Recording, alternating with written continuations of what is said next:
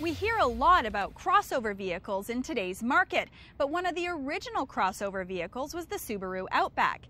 Based on the legacy station wagon, it has rugged exterior cladding and a higher ride height for better ground clearance. We reviewed the Outback when it was updated in 2005. Noticeable changes included a smoother, quieter ride, tidier exterior styling, and a more upscale interior finish.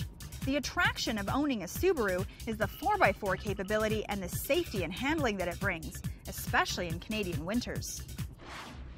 The Outback got good marks from JD Power and Associates. They received an above average rating for mechanical quality and an average for overall quality.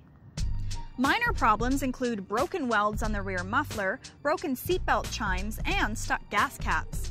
Our search of used 2005 Outbacks on driving.ca shows that these cars have a strong following. There are hardly any for sale.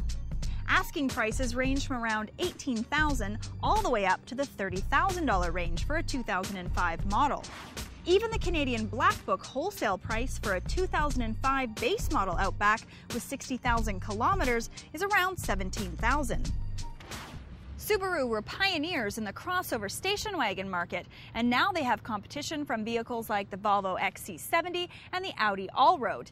Subaru has a pretty decent following because of their great resale and good quality ratings. It's a great used car, if you can find one.